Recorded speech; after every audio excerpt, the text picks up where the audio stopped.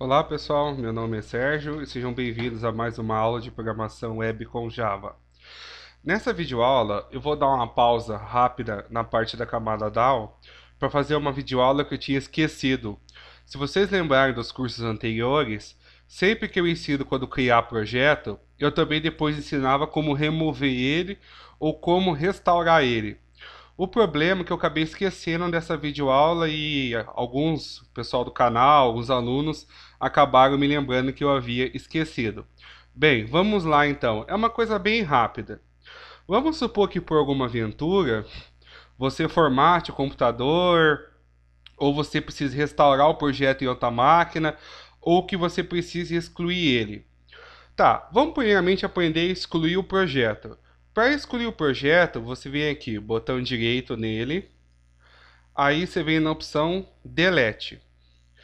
Um detalhe, se você der OK, na verdade ele não vai excluir, o que ele vai é simplesmente desvincular o projeto do Eclipse. Já se eu marcar essa opção aqui, essa opção ele deleta do disco. Só que tem um problema, ele não manda para a lixeira. Ou seja, se eu marcar aqui e der OK, ele vai excluir o projeto, ele não vai mandar para a lixeira, ou seja, perdi de vez. Então toma cuidado no uso dessa operação aqui, só use se tiver certeza.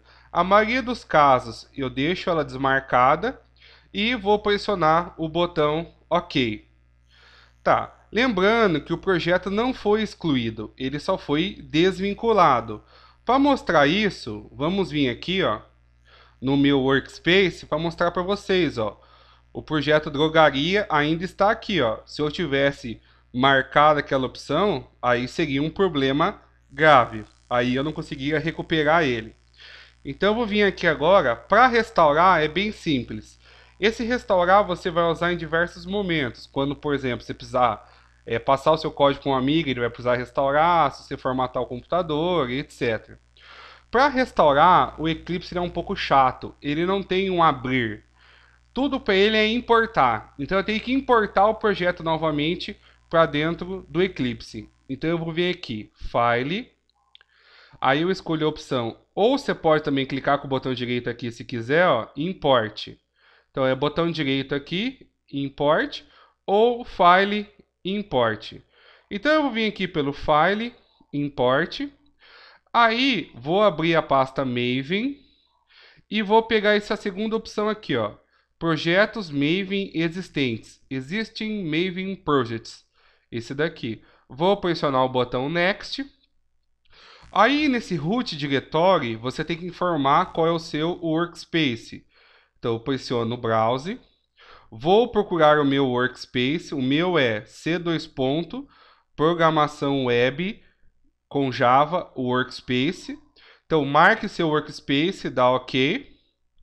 Aí, ó, ele já achou ó, o projeto drogaria, já marcou aqui, porque se tiver vários projetos, vai aparecer vários.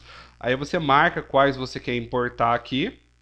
É, essa opção aqui pode ser que alguns precisem, por exemplo, é, se você precisar trazer do pendrive para o seu workspace.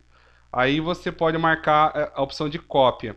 Mas eu recomendo sempre primeiro você cola no workspace e aí é só importar. Aqui no Advanced não tem nada que precisa ser comentado, então é só achar o diretório workspace mesmo. E marcar aqui o drogaria e pressionar o botão Finish. Pronto, ó, o meu projeto já foi ele vai começar, detalhe, se você não tiver a pasta M2, ele vai começar a baixar da internet as dependências do Maven. Então pode ser que demore um pouco. Então, se estiver pegando de um colega, é, você nunca usou o projeto, é a primeira vez, e você não usava Maven, ele vai começar a baixar todas as dependências, então vai ser um pouquinho mais demorado. No meu caso, como eu já tenho as coisas, ele foi bem rápido aqui para nós. Então perceba ó, que está tudo aqui que nós já fizemos. Então, pessoal, é isso que eu queria mostrar nessa videoaula. Não esqueça de dar aquela força para o canal, ajudando a gente a compartilhar. Abraços, até a próxima, onde a gente vai retomar a codificação da camada